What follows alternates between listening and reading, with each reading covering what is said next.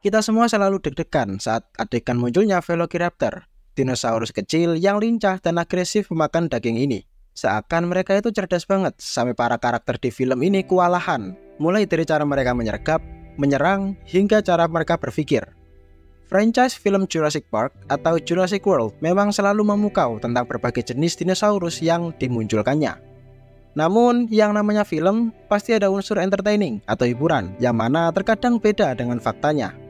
Tapi apakah film ini sesuai dengan fakta dinosaurusnya? Mulai dari bentuk, sikap, dan spesiesnya. Nah, sekarang di video ini kita nggak akan ngomongin Velociraptor versi film. Namun kita akan membahas dalam versi sains melalui fakta dan hasil penelitian. Mulai tentang jenis spesies ini, lalu apakah benar Velociraptor adalah spesies raptor tercerdas pada zamannya? Dan apakah di film sudah sesuai dengan yang ada di para paleontologi? Mari kita bahas lebih dalam tentang spesies raptor ini. Chapter 1: Velociraptor Velociraptor, spesies dinosaurus yang digambarkan cepat, gesit, dan cerdas dalam film Jurassic Park. Nama Velociraptor merupakan nama latin yang berarti pencuri cepat atau perampok gesit Nama ini diberikan oleh paleontologis Harry Fairfield Osborne pada tahun 1924 saat fosil Velociraptor pertama ditemukan oleh Peter Kaisen di Mongolia sesuai arahan dari Henry Fairfield. Nama ini dipilih karena terkesan dengan ukurannya yang kecil, lincah, dan cakar yang tajam yang dibayangkan sebagai alat untuk merampok mangsanya. Gambaran popularitas Velociraptor sebagai pemburu ganas dan oportunistik dalam film mungkin sedikit dilebih-lebihkan untuk hiburan, Penelitian terbaru menunjukkan mereka mungkin hewan soliter yang berburu mangsa kecil dan cakar mereka memiliki fungsi selain menyerang seperti memegang mangsa saat makan atau mungkin memanjat pohon. Terus kenapa kok Velociraptor berburu mangsa kecil? Kenapa nggak yang seukuran seperti di film-film? Bahkan memangsa hewan yang lebih besar? Sebelum kita lanjut ke jawaban, jika kalian suka dengan konten seperti ini, bisa subscribe dan like ya. Dan share ke teman-teman kalian yang suka pembahasan seperti ini juga, biar saya makin semangat untuk kontennya. Jika sudah, terima kasih. Raptor ini diperkirakan hidup sekitar periode kapur akhir, yaitu sekitar 71 hingga 75 juta tahun yang lalu. Velociraptor merupakan bagian dari keluarga Dromaeosauridae yang dikenal sebagai dinosaurus teropoda berbulu. Kok bisa berbulu? Sedangkan di film tidak ada bulunya, malah kelihatan lebih garang. Kita akan bahas semuanya kok, tenang, satu-satu.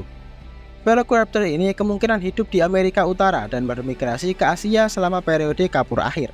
Velociraptor berevolusi menjadi lebih kecil dan lebih gesit daripada nenek moyangnya.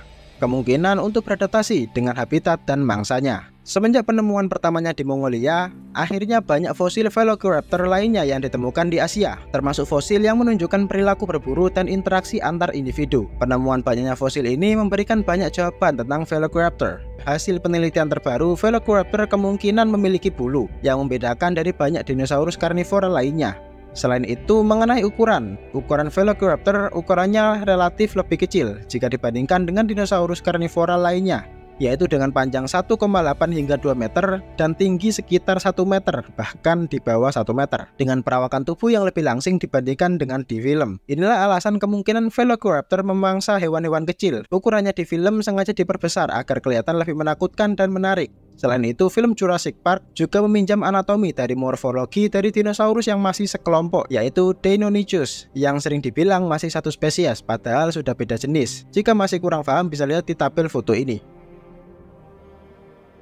Chapter 2 Kecerdasan dan cara bertahan hidup kita cukup panjang membahas di chapter 1. Sekarang kita sudah mengetahui gambaran bahwa bentuk Velociraptor asli itu beda dengan di film. Namun di video kali ini saya sengaja menunjukkan footage Velociraptor dari Jurassic Park karena masih terbatasnya video tentang Velociraptor yang baru apalagi yang berbulu.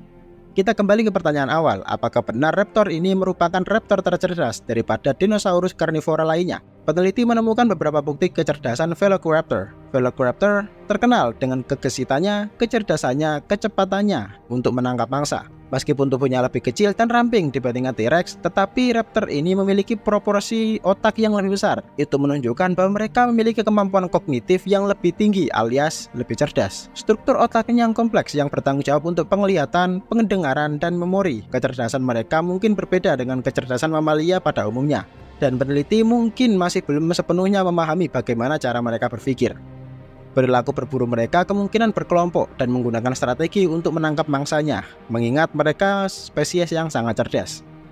Mereka juga dapat berlari dengan kecepatan hingga 60 km per jam yang memungkinkan mereka untuk mengejar mangsanya dengan mudah. Jadi, jika kalian naik motor dengan gas normal 50 hingga 60 km, pasti akan tersusul sama Raptor ini. Kecuali kalau kalian ngebut banget sampai 80 hingga 100 km-an. Kembali ke Raptor tadi, cakar Velociraptor ini panjang banget dan tajam di kedua kakinya dan tangannya. Cakar ini digunakan untuk menyerang, membunuh, dan memegang mangsanya, serta dilengkapi dengan gigi yang tajam, membuat mereka dapat dengan cepat mencapik daging mangsanya. Kelincahan Velociraptor sangat gesit dan dapat berbelok dengan cepat. Ini semua didukung dengan bentuk badannya yang ramping, serta ekor yang kaku dan panjang ini berperan sebagai penstabil saat Velociraptor berlari dengan cepat. Peneliti juga menemukan fosil Velociraptor bersama mangsanya seperti Protoceratops. Lalu ada bekas gigitan pada fosil mangsa yang menunjukkan pola konsistensi dengan cakar Velociraptor. Chapter 3 Penutup Velociraptor, sang pemburu gesit dan terkenal dalam film Jurassic Park ternyata memiliki banyak perbedaan dengan gambaran yang di film. Penelitian menunjukkan bahwa mereka itu lebih kecil, berbulu, dan kemungkinan berburu mangsa-mangsa kecil. Meskipun tidak sebesar di film, Velociraptor tetaplah predator yang cerdas dan efektif dengan cakar yang tajam, gigi yang kuat, dan kelincahan serta kecerdasannya yang luar biasa. Mereka mampu beradaptasi dengan baik di habitatnya dan memiliki strategi berburu yang kompleks. Mempelajari Velociraptor membantu kita memahami keragaman dan keunikan dinosaurus, serta memberikan wawasan tentang evolusi dan kehidupan di masa zaman kapur akhir. Peneliti masih mencari misteri lainnya karena meyakini bahwa masih banyak misteri yang masih belum terungkap. Terima kasih yang sudah ikut menjelajahi zaman kapur akhir ini untuk mengetahui lebih banyak tentang raptor gesit ini. Semoga eksplorasi ini membuat kalian lebih mengenal tentang raptor ini. Jangan lupa untuk share dan subscribe channel ini karena ke depannya channel ini akan menjelajahi masa lalu untuk membuat video tentang hewan purba lainnya, entah yang sudah punah ataupun yang masih hidup. Dan sampai jumpa di video selanjutnya. Bye-bye.